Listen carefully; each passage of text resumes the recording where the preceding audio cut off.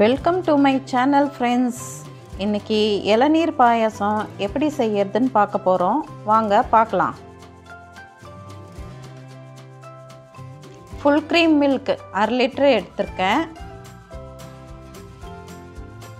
இளநீர் தேங்காய் இந்த மாதிரி எலசாக பார்த்து எடுத்துக்கோங்க. இது ஒரு அரை முடி எடுத்திருக்கேன். ஏலக்காய் ஒன்று வாசனைக்கு முந்திரி ஏழு எட்டு இந்த மாதிரி உடச்சி வச்சுருக்கேன். ஒரு ஸ்பூன் நெய் தேங்காய் அரை முடி இளநீர் ஒரு கிளாஸ் சர்க்கரை சின்ன கிளாஸில் அரை கிளாஸ் எடுத்திருக்கேன்.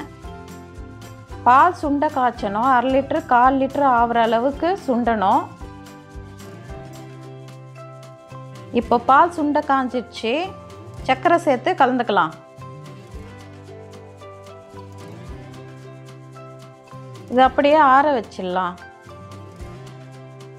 இளநீர் தேங்காவை இந்த மாதிரி சின்ன சின்னதாக மிக்ஸி ஜாரில் போட்டு அரைச்சிக்கலாம். இந்த மாதிரி ஒன்றும் பாதையுமா அரைச்சிக்கலாம். ரொம்ப நைஸாக அரைக்க வேண்டாம். இளநீர் தண்ணி கொஞ்சமாக சேர்த்து அரைச்சிக்கோங்க. இளநீர் பாதி கிளாஸ் சேர்த்து தேங்காய் பால் எடுத்துடலாம்.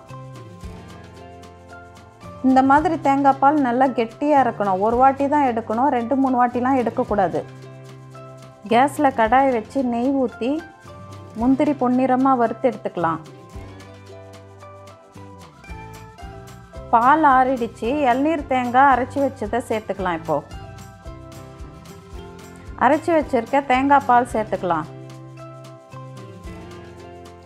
நல்லா கலந்து விட்டுக்கலாம். இப்போ இளநீர் சேர்த்துக்கலாம்.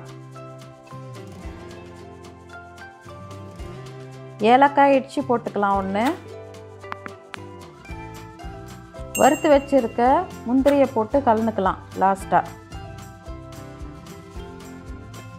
இளநீர் பாயாசம் ரெடி ஆயிடுச்சு.